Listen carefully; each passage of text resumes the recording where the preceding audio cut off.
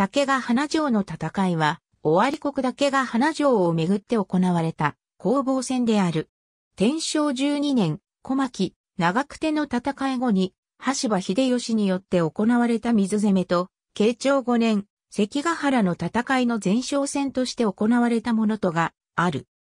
織田信長の死後、実権を掌握した橋場秀吉と織田信夫、徳川家康とが対立し、天正12年、小牧、長久手の戦いが起こった。4月9日、長久手で家康に敗北を喫した秀吉は、作戦を変更して、伊勢長島城の信夫を脅かし、家康を誘い出そうと図った。秀吉は、細川忠興らを動員すると、まず5月6日ないし7日に、信夫方の加賀野以上を落城させ、翌日には、竹が花城の北西 1km にある、真島村の丘陵に付け城を築いて、そこを本陣とした。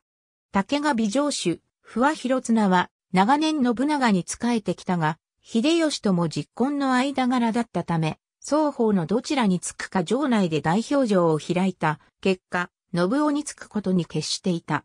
この時籠城したのは700余期とも7000余期とも言われる。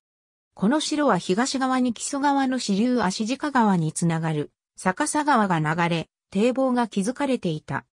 そこで秀吉は城の北から西、南へかけても半円形に約 3km に及ぶ高さ1畳、幅14、5軒の包みを築き、そこに足鹿川の水を引き入れて城を水攻めにすることにした。5月11日より、将兵のみならず、付近一帯の住民も借り集め、特艦工事を行った。この包みは、数予定と呼ばれるが、実際には5、6日は要したと見られている。サミダレにより増水した足鹿川の水により、町屋は三尺余り浸水し、城は二の丸まで冠水した。城内ではイカダを組んだりスノコを張ったりして対処したが、家中には逃げ場を失ったネズミや蛇が侵入して、不女子を脅かした。城側は、信夫や家康に救援を要請する使者を送るも、本田忠勝や織田長政、滝川竹尻による援軍は、秀吉側に阻まれて、途中から引き返してしまった。しかし、秀吉も、家康や信夫が自ら出陣してこないのでは長々と戦いを続けるのも無意味と考え、上主以下全員の命を助ける条件で開場するよう勧告した。これを受け入れた広綱は6月10日に長島の信夫のもとに退去し、竹が花城を接収した秀吉も大阪城へ帰還した。豊臣秀吉の死後、着々と実権を掌握する徳川家康に対し、慶長5年に石田三成が反旗を翻した。岐阜城主の織田秀信は三成方についたため、秀信の配下だった竹が美城主、杉浦重勝も西軍に加わった。清洲城を発した東軍は、まず、岐阜城を攻めるため、二手に分かれて木曽川を渡ることになった。8月21日、池田照正、浅野義長ら1万8000の兵は、川田の私に、福島正則、細川忠興、京極高知、黒田長政、加藤義明、東堂高虎、田中義政、井伊直政、本田忠勝ら1万6000の兵は、下流の木の私に到着。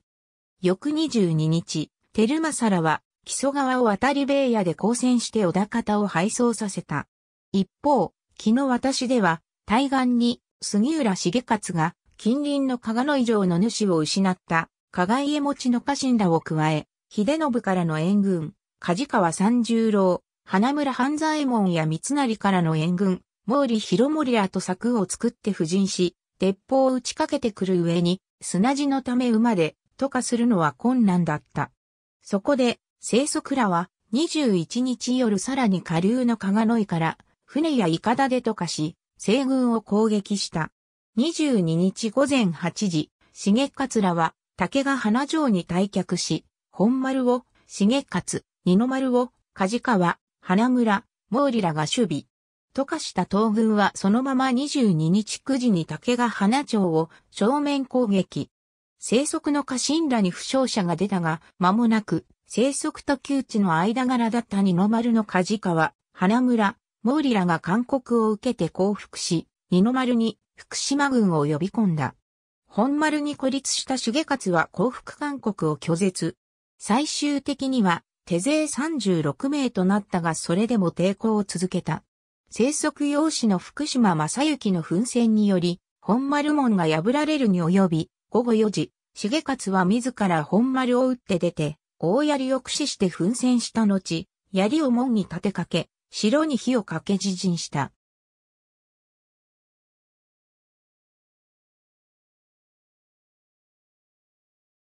重勝の周りでは生き残っていた家臣7名が自陣していたと伝わる。正則らは、照正らと合流し、翌日23日には、岐阜城も落城させた。9月15日には、関ヶ原の戦いで東軍が勝利することになる。ありがとうございます。